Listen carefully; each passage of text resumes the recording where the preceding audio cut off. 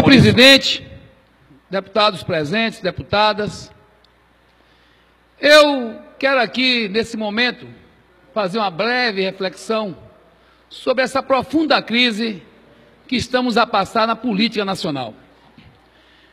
Eu quero lembrar, primeiro, que ontem, em meio às fotografias, imagens do dinheiro achado no apartamento supostamente utilizado pelo ex-ministro Gedel, ex-deputado do PMDB, ligado ao DEM e aliado aqui há alguns anos do prefeito de Salvador. A notícia que mais nós ouvimos foi de que havia mais uma denúncia contra o presidente Lula e contra a presidenta Dilma.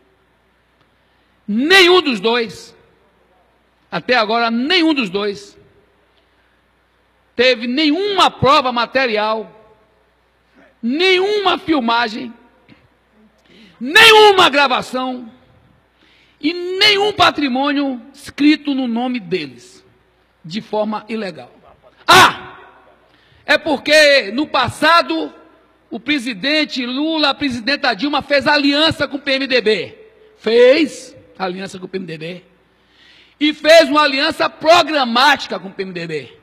Que, aliás, diga-se de passagem, traiu o povo brasileiro, traiu a presidenta Dilma, ajudou a dar o golpe que hoje está em vigor neste país e está executando um projeto que nunca foi defendido nem pelo PMDB, nem pelo PSDB, nem pelo DEM que eu não vi nenhum desses defender em campanha política que ia fazer reforma, reforma da Previdência, que ia fazer reforma trabalhista como foi feita.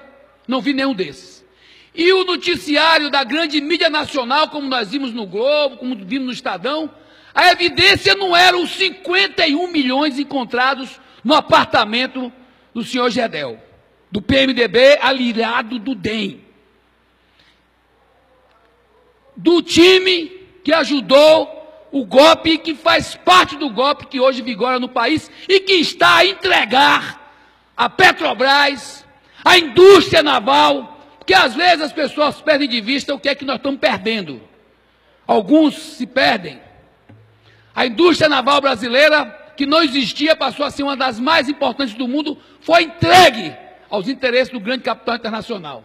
Eu não quero aqui dizer que não se investigue, que se faça investigação, que se faça tudo. Aliás, foi o presidente Lula que fortaleceu a Polícia Federal, que fortaleceu a Procuradoria, que fortaleceu os mecanismos de controle, que fortaleceu a CGU, que fortaleceu a transparência e deu autonomia ao, aos procuradores gerais da República, principalmente ao Procurador-Geral da União, para que tivesse independência.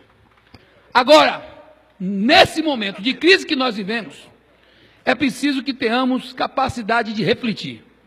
Porque ontem, mais uma denúncia, e eu pergunto: ah, o crime do presidente Lula foi ter feito alianças com alguns partidos que traíram a presidenta Dilma, que foram para um processo de instalação a mercê do voto, a mercê tem voto, tem ação institucional, infelizmente, que gerou um impeachment de uma presidenta que foi posta para fora do poder num golpe porque cometeu pedaladas fiscais que 15 dias depois deixaram de ser irregularidade, inclusive por uma lei aprovada pelo próprio Congresso que tinha tirado há 15 dias atrás a própria presidente. Então, gente, é preciso que nós tenhamos capacidade de refletir nesse momento. Eu não acho que seja o fim. Eu acho que seja o começo de um processo que, mesmo, mesmo às avessas, vai nos dar, senhor presidente, capacidade de refletir. A nós do PT não tenham dúvida. Nós sabemos que temos erros porque somos um aglomerado de humanos sujeito a erros. Mas sabemos que temos muito mais acertos.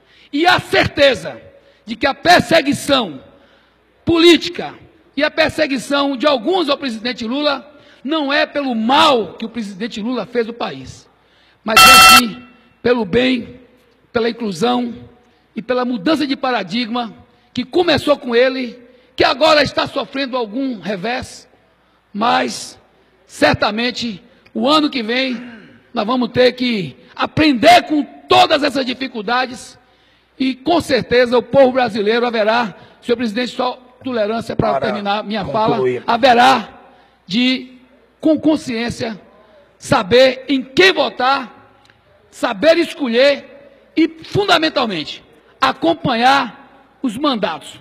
E eu finalizo dizendo, senhor presidente, na política estão, graças à democracia, os que a sociedade escolheu para representá-la. E não venham me dizer que só está ruim na política. Está ruim na conjuntura estrutural desse país que precisa ser repensada. E que a democracia nos salve e que Deus nos proteja e que tenhamos capacidade de enfrentar todas essas turbulências. Amém. E, de, e, destas, e dessas turbulências, turbulências sairmos mais fortes e mais sapientes de qual será o novo caminho.